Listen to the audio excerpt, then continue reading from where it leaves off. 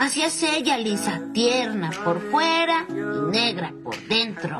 Tienes que dejarla. No, no, no, no. Mira, tengo un plan. La aguanto así otros siete años. Luego nos casamos. Y cuando venga el primer bebé, cambiará y empezará a tratarme bien. Después de todo lo merezco. Va, es creer que puedes cambiar a las personas.